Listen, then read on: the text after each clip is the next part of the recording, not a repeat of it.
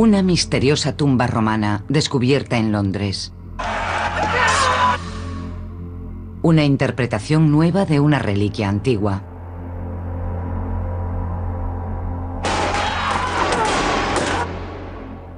Dos hallazgos que se suman para escribir un nuevo capítulo en la historia del Imperio Romano. La historia de la Gladiatrix.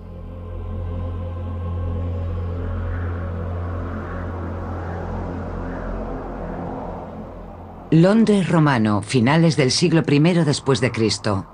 Una ciudad atestada con 20.000 personas que vivían bajo el puño de hierro del dominio romano.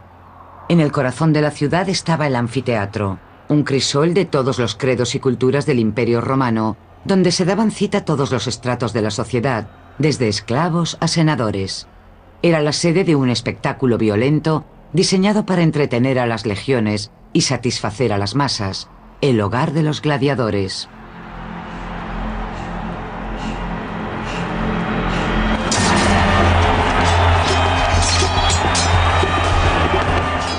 Pero en el año 70 después de Cristo el espectáculo de hombres masacrando a hombres no era suficiente.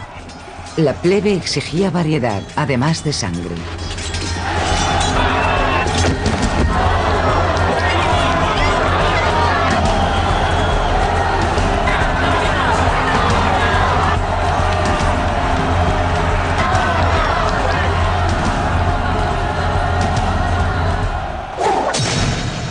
Gladiatrix.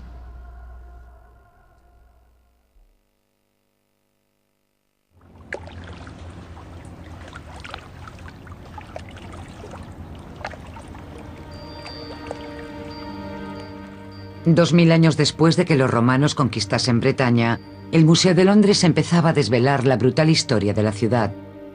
En 1996, una excavación en la calle Grey Dover, Southwark, desenterró una tumba misteriosa.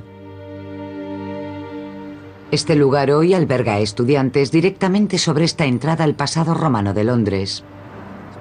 Presuntamente va hasta el final de aquel edificio rojo. Todo eso formaba parte de la excavación. ¿Dónde estaba la tumba en sí? La tumba estaba en esta zona de aquí. Justo bajo... Bajo el edificio. Bajo los muros rojos. En el yacimiento de la calle Grey Dover se desenterraron unas 30 tumbas romanas. Pero los arqueólogos centraron su atención en una. La tumba estaba llena de objetos que sugerían riqueza y estatus, pero era evidente que no se trataba de los huesos de un ciudadano rico corriente.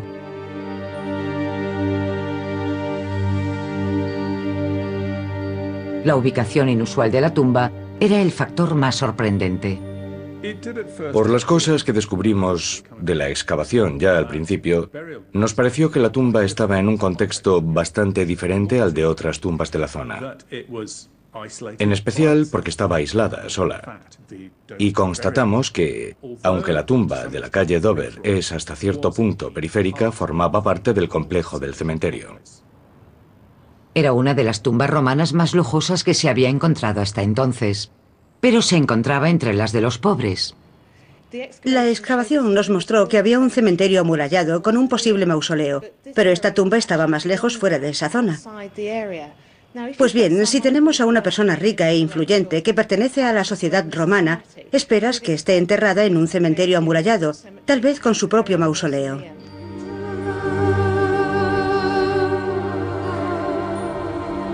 Esta contradicción daría lugar a un misterio arqueológico.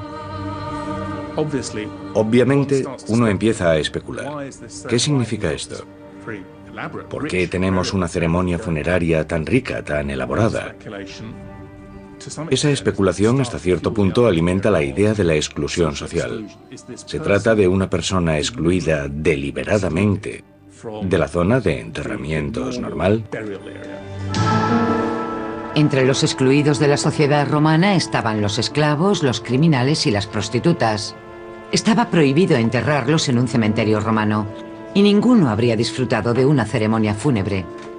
Solo un grupo extraordinario tenía poder para superar este estigma social y moverse a voluntad entre los diferentes estratos del rígido sistema de clases del Londres romano, los gladiadores.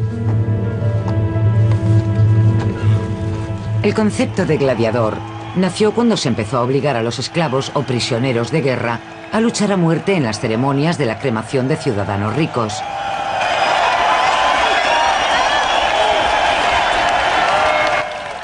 Pero un gladiador podía alcanzar la nobleza demostrando valor al enfrentarse a la muerte. Entonces se le juzgaba digno de guiar a un aristócrata muerto a través del inframundo, y la entrada de ese inframundo era el anfiteatro.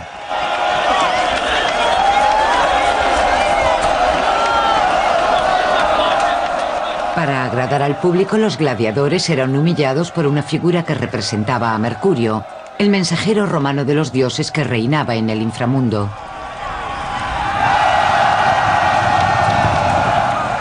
Tras un combate, Mercurio convertía en un espectáculo la eliminación de los heridos de muerte.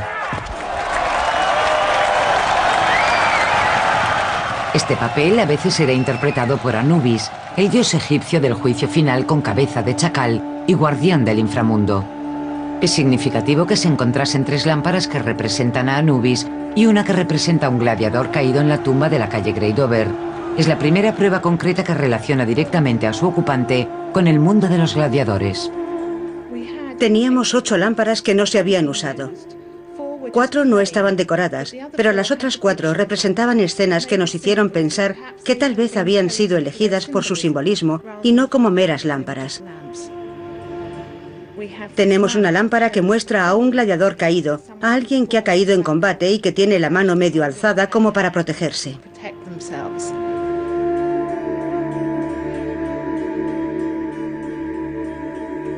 En la Bretaña romana no es muy usual encontrar varias lámparas en una tumba. Normalmente encontraríamos una, tal vez dos lámparas, pero encontrar ocho es algo realmente único y destacable. Las lámparas también ayudan a datar la tumba. Cuatro de las lámparas de nuestra tumba son lámparas con grabados, y ese tipo de lámparas, por contextos que hemos datado, sabemos que se utilizan del año 20 después de Cristo en adelante y durante todo el siglo I, y que después desaparecieron de Bretaña. Las otras cuatro son las llamadas lámparas de fábrica, que aparecen sobre el año 70 después de Cristo y llegan hasta el siglo II. Así que tenemos un tipo de lámpara que está perdiendo popularidad y otro que se está volviendo más popular, de modo que se solapan. Así que yo dataría esta tumba en el año 70 u 80 después de Cristo. En el año 70 después de Cristo los gladiadores ya llevaban combatiendo unos 400 años. Hay pruebas de su presencia por todo el Imperio Romano antiguo, pero hasta ahora jamás se habían encontrado restos humanos de un gladiador identificables.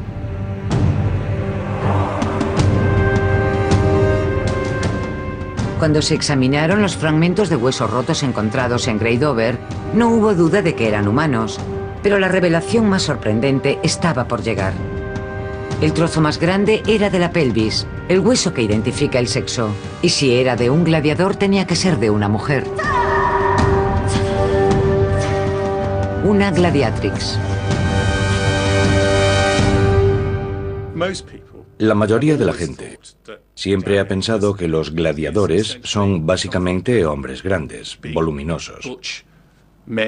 Charlton Heston y otros por el estilo que salían a la arena. Por eso la idea de que podría haber sido una mujer para mucha gente fue una sorpresa. La gente empezó a preguntarse qué teníamos allí. ¿Es posible que tuviésemos una mujer gladiadora? Y todo el mundo contestó, no, no puede ser, no me lo creo. Pero al analizar los hechos pensamos que era posible estar ante algo extraordinario. El crucial hueso pélvico que confirmó el sexo del difunto fue archivado, pero ha desaparecido. Afortunadamente algunos de los huesos estaban expuestos al público y han sido devueltos sanos y salvos al servicio arqueológico del museo. La identificación la realizó el osteoarqueólogo Bill White, que se unió a la especialista en restos humanos Jackie McKinley, quien opina que el desgaste de los huesos podría permitir hacer un cálculo aproximado de la edad de la mujer. O sea que sabemos que era una mujer. Sí.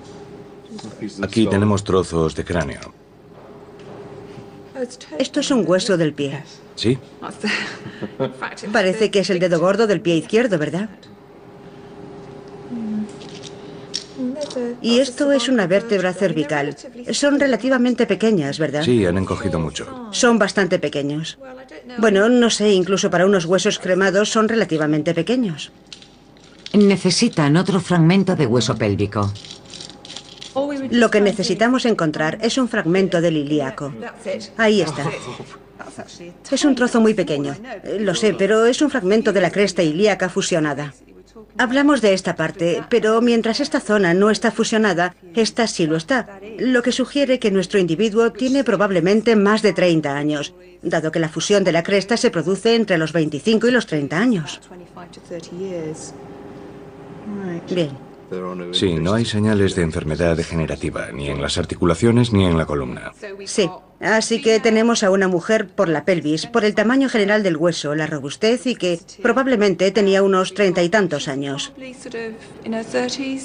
Yo diría que sí. Más o menos.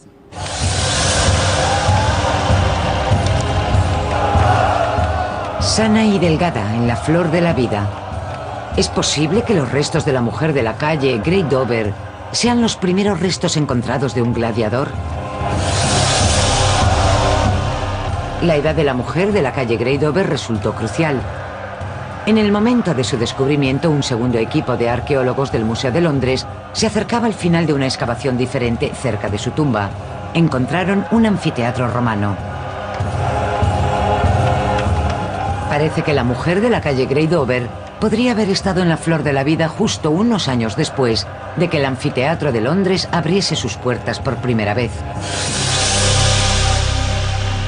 Pero ¿podrían los arqueólogos del Museo de Londres relacionarla directamente con la sangrienta arena? En el año 70 después de Cristo el Imperio Romano se extendía por Europa y África. Los combates de gladiadores eran un espectáculo habitual en Roma y las legiones lo habían llevado a Londres. Los romanos pusieron la ciudad en el mapa y escribieron su nombre con la sangre de los gladiadores.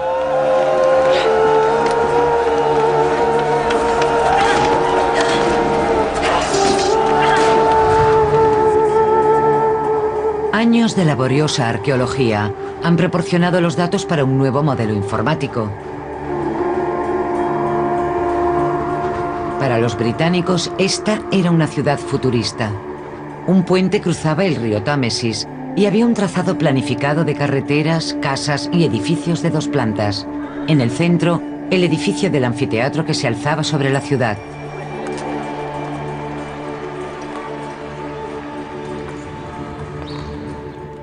Nueve años antes, el Museo de Londres había encontrado la tumba de la calle Grey Dover y había desenterrado el anfiteatro kilómetro y medio al norte, en un lugar destinado a una nueva galería de arte.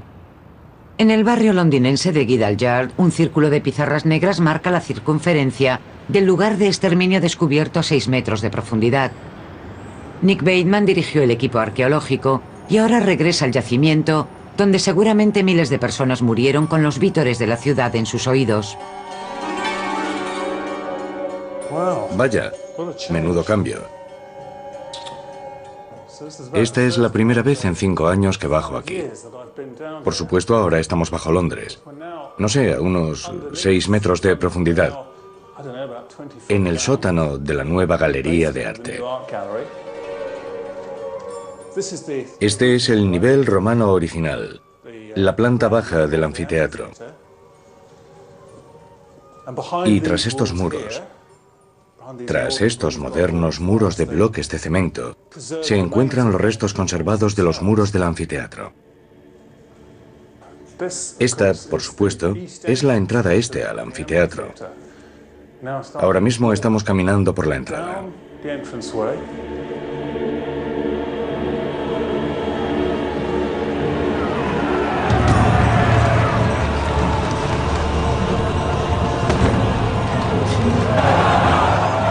Seis mil personas habrían abarrotado el anfiteatro antiguo, un tercio de la población.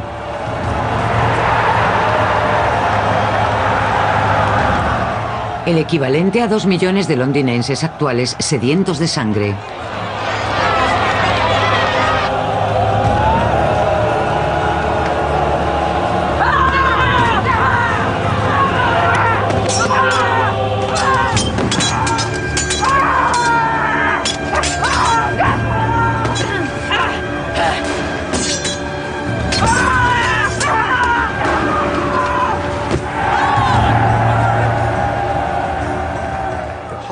Anfiteatro data del año 70 después de Cristo.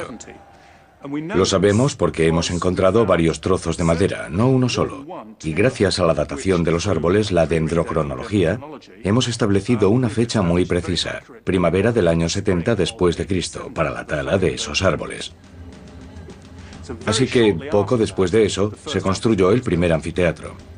En el año 70 después de Cristo, la mujer encontrada en la calle Grey Dover estaba en la flor de la vida, y el contenido de su tumba proporcionaría pruebas concluyentes de que era una gladiatrix.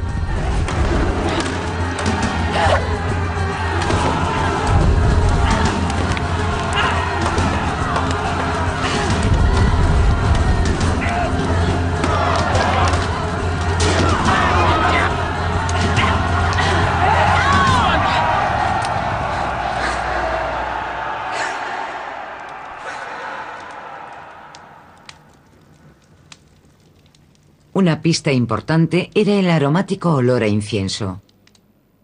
La tumba estaba cubierta de incienso, junto al que se encontraron los quemadores decorativos de cerámica para su uso. Siguiendo las pistas, los arqueólogos encontraron el rastro que les llevó directamente de vuelta al anfiteatro. El incienso procedía de la piña del pino piñonero, un árbol originario del Mediterráneo.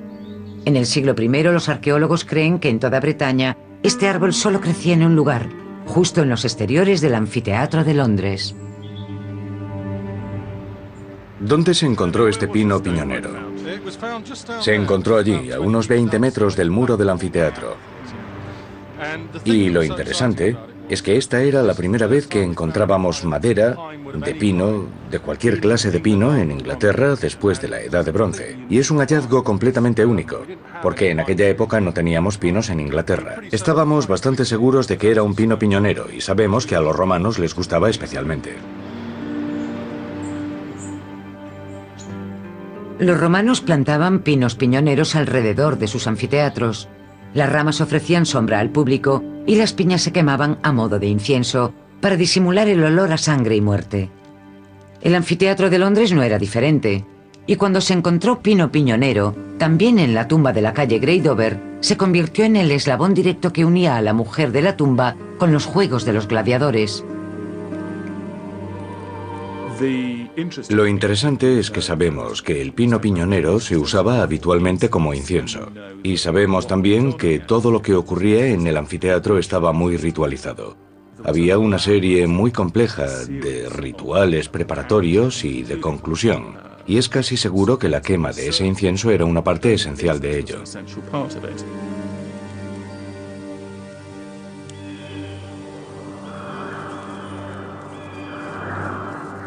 Para un gladiador que alcanzaba la gloria en la arena, el elaborado ritual de la vida cotidiana tenía su reflejo en la muerte.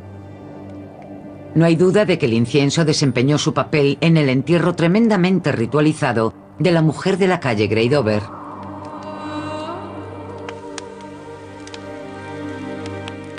Pero un historiador cree que puede interpretarse de forma diferente. Las lámparas pintadas, los quemadores de incienso y las características piñas pueden apuntar hacia su religión. Cuando oí hablar de los descubrimientos de la calle Dover, estaba convencido de que teníamos una tumba de una devota de Isis, encontrada en un yacimiento de Southwark, que no está muy lejos de donde creemos que había un templo de Isis. Incluso tenemos una vasija con una inscripción que pone Londini Afarnum Isidis. Se trata de una prueba más de la existencia de este exótico y yo diría que muy hermoso culto en la capital. La inscripción en Londres, en el templo de Isis, alude a la diosa egipcia de la fertilidad. Su guía a través del inframundo era Anubis, el dios con cabeza de chacal cuya imagen adornaba tres lámparas halladas en la tumba. Antes de este hallazgo, solo se habían encontrado otras dos lámparas de Anubis en toda Bretaña. También hay ocho quemadores de incienso, así que a mí me parece que esta tumba pretendía tener una luz intensa y unos aromas purificadores propios de los ritos funerarios. Yo creo que señalaría a una persona que tiene creencias diferentes a la mayoría de la población. Tal vez creencias orientales, posiblemente. porque la misma combinación de objetos, lámparas, quemadores de incienso y piñas quemadas, también se encuentran en numerosos templos consagrados a deidades orientales.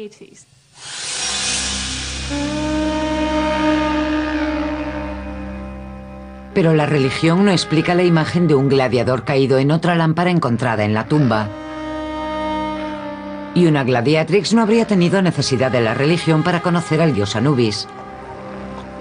Para una gladiadora, el significado de esta imagen en otras lámparas simbolizaría su papel como compañero al inframundo tras la muerte violenta en la arena.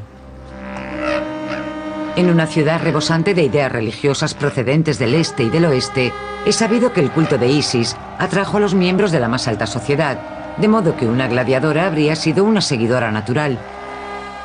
Es posible que tengamos aquí a una seguidora rica e influyente de la diosa Isis, pero que también es una gladiadora. Una posibilidad no descarta a la otra, podría ser una combinación de ambas. Las pruebas sugieren que tanto si era seguidora de Isis como si no, probablemente era gladiatrix. Y se pueden encontrar más pruebas en la historia de este periodo. Los juegos de gladiadores a menudo se inspiraban en la realidad y en la memoria del Londres romano estaba fresca la ira vengativa de una reina guerrera.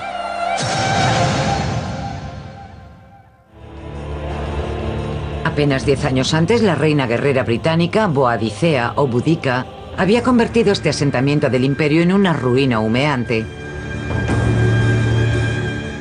Simon James cree que Budica enseñó a los romanos una lección que estos nunca olvidarían. Siempre que Roma conquistaba una nueva provincia había un periodo de adaptación en el que se solucionaban muchas tensiones mientras la población se adaptaba. En el caso de Bretaña, sobre el año 60 después de Cristo, las cosas se pusieron bastante mal, porque muchos soldados y oficiales empezaron a maltratar y a molestar a bretones importantes, y esto generó una enorme explosión de resentimiento.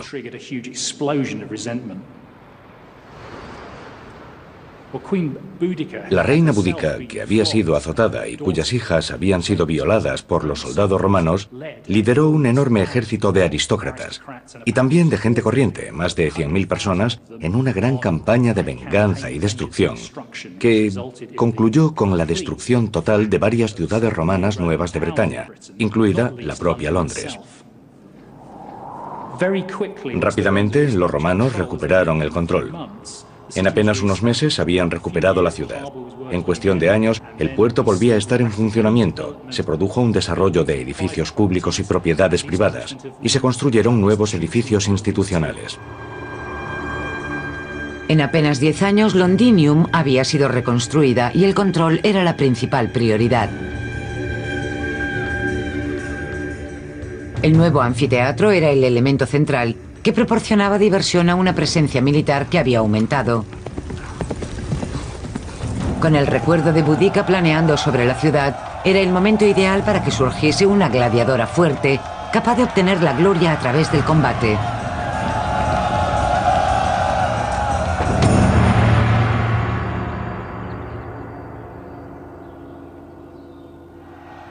Mike Fulford es un experto en las costumbres de un anfiteatro. Un gladiador de éxito sumaba sumas considerables y se retiraba rico, lo que le permitía disfrutar de una propiedad propia y asegurar el futuro de su familia. En ese sentido se ganaba un lugar en la sociedad. Y por supuesto si sobrevivían, y sabemos que muchos lo hacían, en muchos y muchos juegos, entonces, pues como si fueran jubilados, no sé, del deporte actual, eran personas conocidas, personas famosas.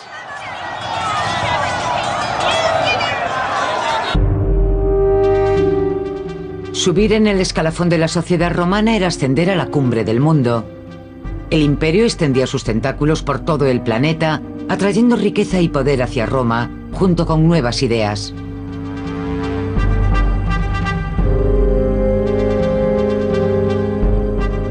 En la épica Gladiator de Ridley Scott, el Coliseo es aterrorizado por unas gladiadoras que conducen carros. En la vida real, ¿se inspiró esta atracción letal en algo que los romanos vieron en Bretaña? La asesora histórica de la película fue la profesora de Harvard y estudiosa clásica Kathleen Coleman.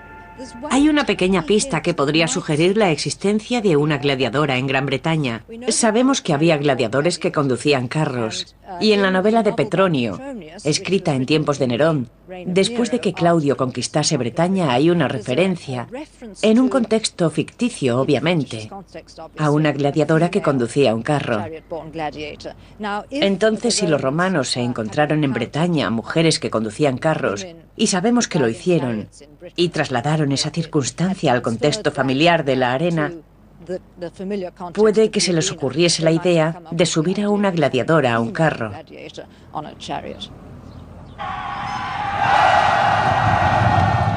Los romanos a menudo basaban sus juegos de gladiadores en la realidad, y sus experiencias en Bretaña podrían haber llevado a las mujeres al anfiteatro. Desde el año 59 después de Cristo los documentos históricos hablan de mujeres que mataban a animales y luchaban en el ring.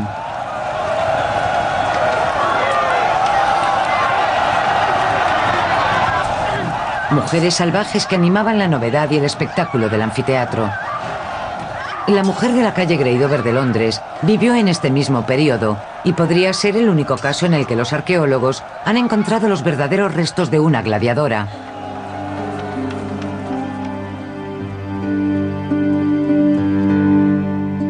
Siempre activo volcán Vesubio monta guardia sobre otros restos humanos muy prometedores.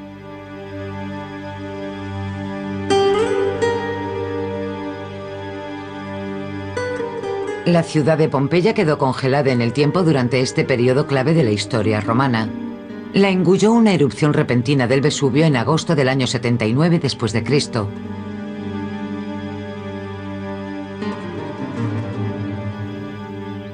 Este es el anfiteatro más antiguo del mundo y sin duda debió de haber gladiadores entre los muertos.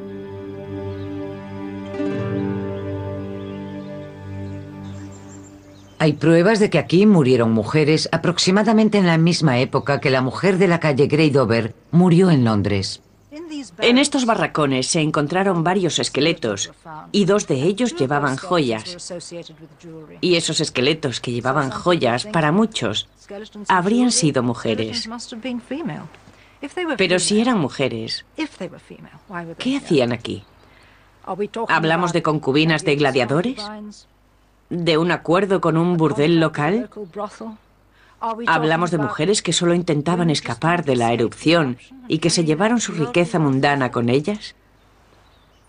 Puede haber otra explicación.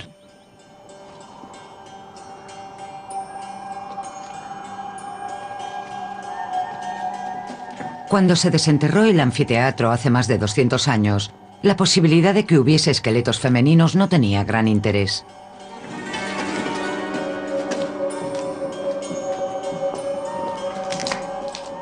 Bajo las calles de la ciudad había acumuladas enormes cantidades de huesos. Si hoy se encontrasen y se pudiesen examinar los huesos de una mujer, tal vez podrían revelar las heridas de una vida de combate en la arena.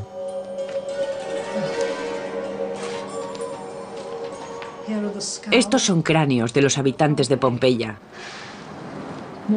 Más huesos.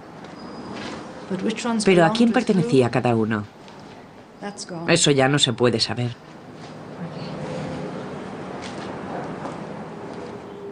y no hay forma de recomponerlos.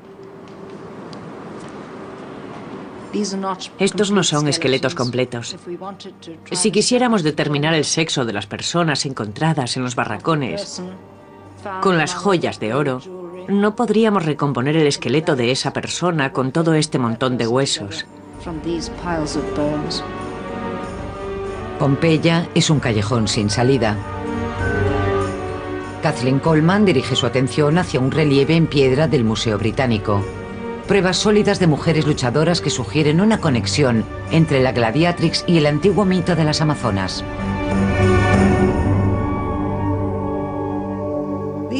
Estas dos señoritas proceden de Alicarnaso, en la actual Turquía, de una ciudad en la costa de Asia Menor, que formaba parte de Grecia Oriental durante el Imperio Romano. Y lo que vemos aquí son efectivamente dos gladiadores en combate.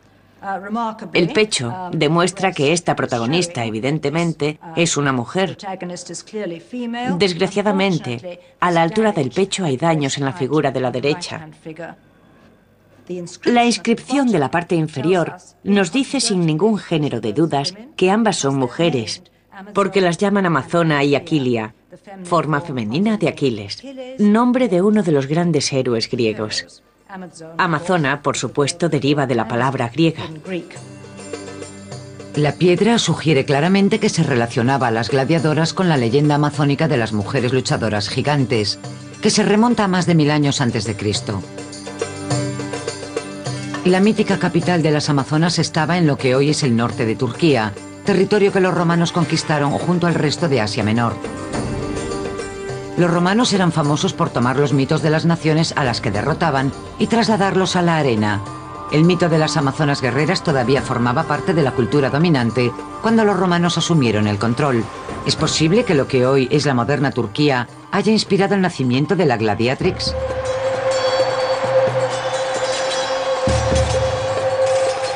Los rituales dominaban la rutina diaria de los gladiadores.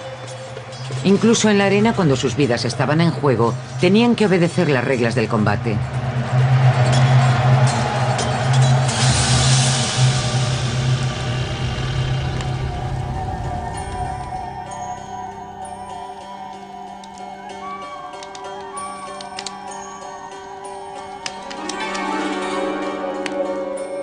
Los expertos creen que los mejores gladiadores apenas entraban en combate dos o tres veces al año y que pasaban el resto del tiempo en los ludos o escuelas de entrenamiento.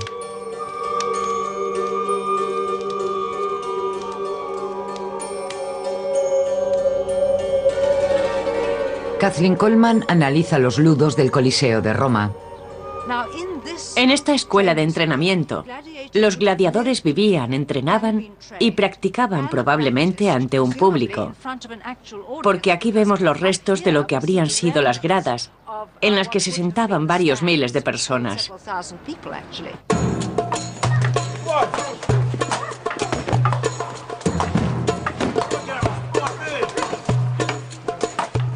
Es sabido que los gladiadores entrenaban con espadas de madera, un método que sería adoptado posteriormente por los soldados romanos.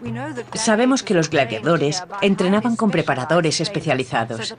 Para cada estilo de lucha, los gladiadores tenían un entrenador especializado. Eran tan sofisticados los métodos de entrenamiento de los gladiadores que en sus epitafios se mencionaba en qué estilos sabían luchar. Eso era algo verdaderamente excepcional. Y si alguien podía luchar en tres estilos diferentes, era un auténtico superhombre. O una supermujer. Pero en la tumba de la mujer de la calle Dover no había armas y no ha sobrevivido epitafio alguno. Por lo tanto, no hay datos sobre sus estilos de lucha, pero sí hay muchísima información sobre el tipo de equipo que habría usado.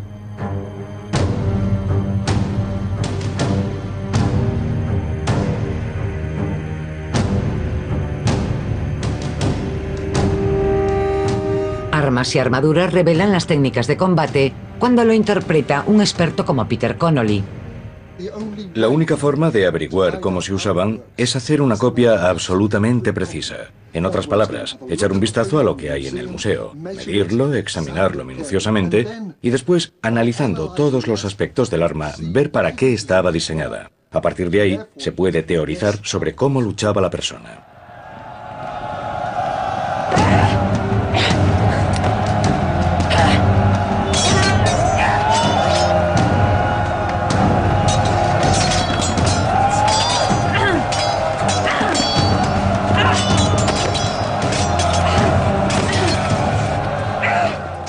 Tomemos, por ejemplo, los cascos del secutor. Están diseñados específicamente para determinados propósitos. Si miramos normalmente miramos al frente y podemos mover los ojos, vemos en unos 150 grados y somos conscientes de cosas que ocurren ligeramente más lejos incluso. Con esto la visión se limita a un tercio, el límite son 50 grados. Los ojos no pueden ser atacados. El mínimo espacio que queda entre los dos orificios para los ojos probablemente tenía mucho que ver con el tridente, para que el tridente no llegase a los ojos. El retiarius, por su parte, no llevaba casco, pero sí esta protección amplia para el hombro. Se colocaba sobre el hombro y su portador podía agachar la cabeza detrás si intentaban asestarle un golpe directamente a los ojos. Fíjense también en la curva. Si el golpe venía alto hacia el nivel de los ojos, se deslizaba hacia abajo, no hacia arriba, lo que lo alejaba de los ojos. Los ojos eran la parte más importante, porque si un gladiador se quedaba ciego, se acababa el combate. Y un buen luchador terminaba así su carrera, que podría haber durado años.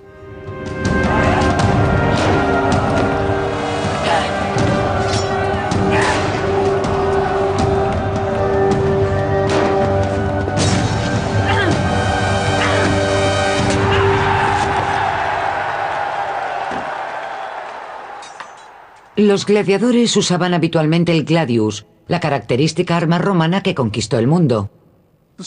La espada de la época, hablamos de finales del siglo I después de Cristo, es esta.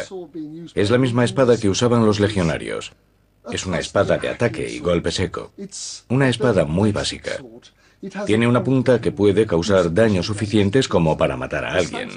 La posición para usarla, tanto para hombres como para mujeres, es la misma. Podemos verla en el relieve de Aquilia y Amazona. Se expone a la amenaza del oponente a la menor zona del cuerpo posible y se carga en una posición de ataque como esta.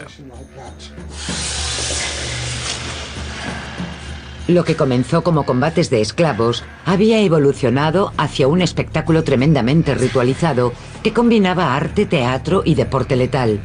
La gladiatrix era otro símbolo de cambio pero los espectáculos romanos eran cada vez más depravados y llegarían prácticas más inquietantes.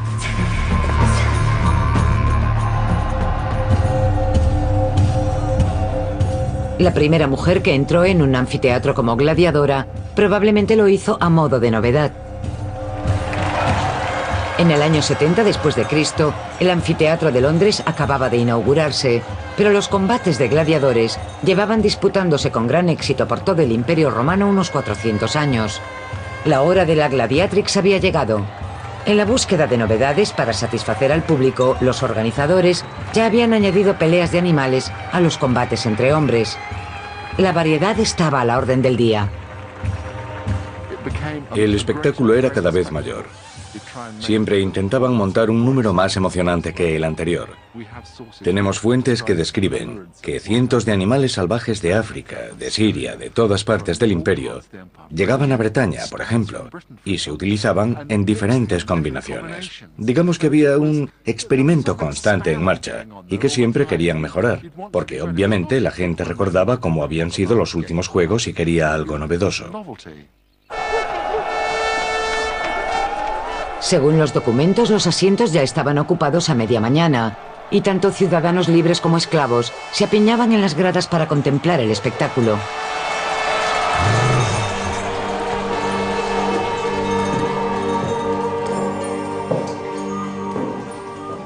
Mientras las víctimas humanas esperaban en la arena, se preparaba a sus atacantes animales para hacer una entrada dramática.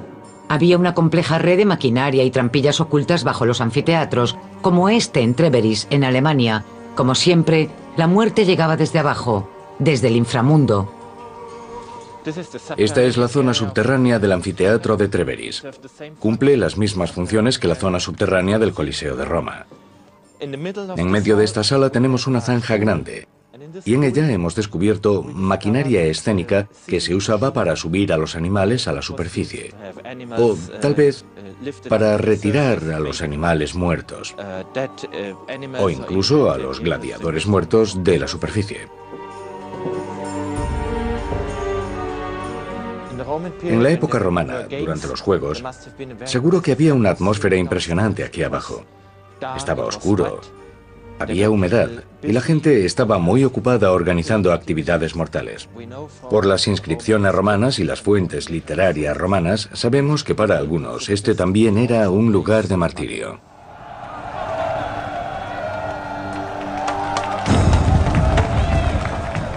Pero las fuentes históricas sugieren que algunas mujeres escaparon al destino de estas víctimas indefensas. En el siglo I después de Cristo, el emperador Domiciano hacía luchar a las mujeres al anochecer, a la luz de las antorchas.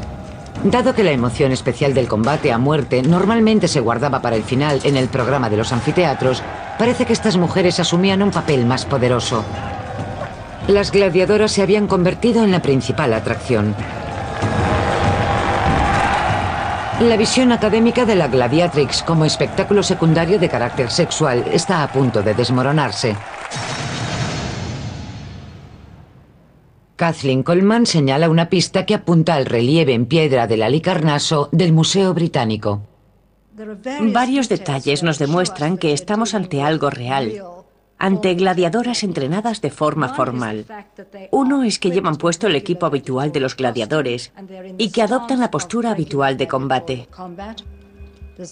No hay nada burlesco en su atuendo y tampoco hay nada frágil en su postura.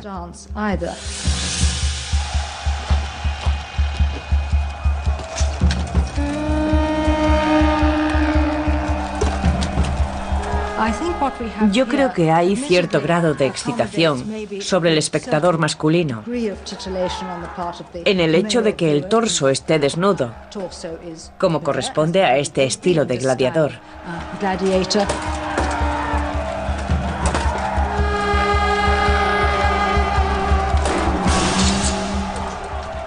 Una nueva interpretación del aspecto más desconcertante del relieve pone en duda la teoría según la cual estas mujeres eran un simple espectáculo novedoso. Hay algo curioso en ellas, y es que no llevan casco. Pero hay dos objetos aquí abajo, a cada lado del plinto sobre el que están las figuras. Estos objetos redondos en algún momento fueron interpretados como cabezas de espectadores, aunque es un lugar bastante extraño para que se sitúen los espectadores con respecto a las luchadoras. Y yo creo que lo que tenemos aquí son cascos. Estos son presumiblemente los cascos que llevaban puestos estas dos mujeres y que se han quitado. La pregunta es por qué. Una de las cosas que indica el reconocimiento de la derrota, o al menos el reconocimiento de unas tablas, es desprenderse de una parte de la armadura, bien sea el escudo o más habitualmente el casco. Esto simboliza para el espectador poco versado el reconocimiento de unas tablas, que suponen el indulto para ambas combatientes. Estas mujeres son representadas como auténticas gladiadoras de pleno derecho. Ellas representaban, como todos los gladiadores, la cualidad básica en la arena, que era la virtus, el valor, el valor masculino. La palabra virtus deriva de la raíz vir, que significa hombre en latín. Y la anomalía aquí, por supuesto, es que esta cualidad la encarnaban mujeres luchadoras.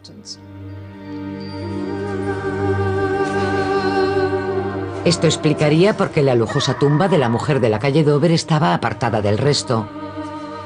Gracias a su demostración de coraje en la arena habría obtenido riqueza y estatus, pero nunca habría sido aceptada realmente.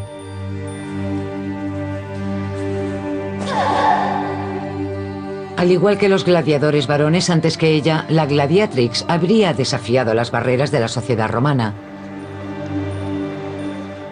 Según la ley romana, las mujeres estaban claramente encasilladas, ya fuesen esclavas, libres o ciudadanas de alta cuna. En la arena, las localidades se ocupaban según el estatus. Las más importantes eran las de delante. Las mujeres se sentaban hacia atrás en los asientos inferiores. Los hombres romanos esperaban que las mujeres fuesen castas y morales, las guardianas del hogar, y que se ocupasen de las tareas domésticas y de los hijos. Eran las virtudes encarnadas por las vírgenes vestales, seis sacerdotisas incorruptibles, que eran las únicas mujeres a las que se les permitía sentarse cerca de la acción. Una mujer físicamente poderosa como la gladiatrix podría ser una emoción incómoda para los hombres romanos. Una gladiadora es una idea tremendamente paradójica para los romanos.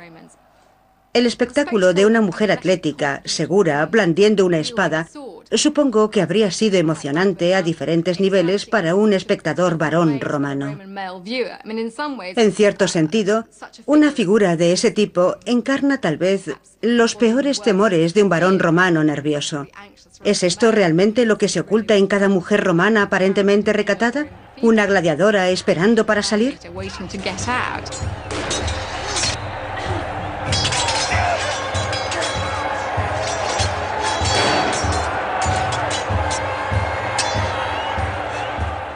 Comienzos del siglo I después de Cristo, a las mujeres libres menores de 20 años se les prohibió combatir. Después se le prohibió a cualquier hombre o mujer de clase alta. De modo que no solo se convertían en gladiadores los esclavos o prisioneros. Tal vez la gladiatrix quería luchar. Yo creo que la presencia de una gladiadora, conocida por pertenecer a la élite senatorial o de la nobleza, habría sido una visión muy chocante para el público romano. El ideal tradicional de la matrona romana está a un mundo de distancia de una mujer que muestra su cuerpo en la arena, que adopta virtudes masculinas, que adquiere habilidades masculinas y que disfruta entreteniendo a los demás. Fuese cual fuese la clase de la que había surgido, la gladiatrix acabó sus días como proscrita, como la joven y rica romana enterrada en el Londres romano con objetos que la relacionan indiscutiblemente con el anfiteatro.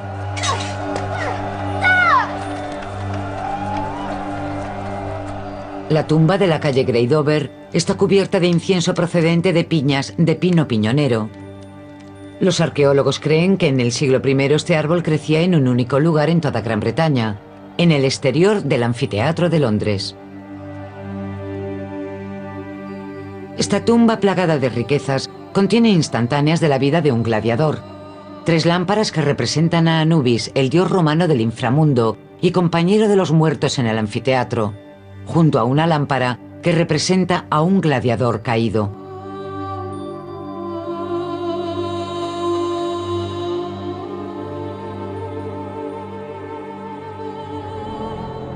La ubicación de su tumba, el primer hecho que llamó la atención de los arqueólogos sobre su historia revela a una mujer que se salió de los límites normales de la sociedad.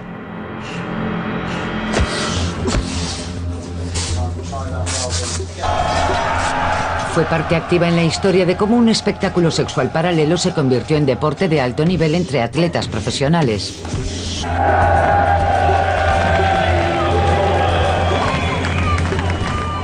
Y esa imagen es tan inquietante hoy como lo era hace 20 siglos. La imagen emocionante y ambigua de una mujer que lucha.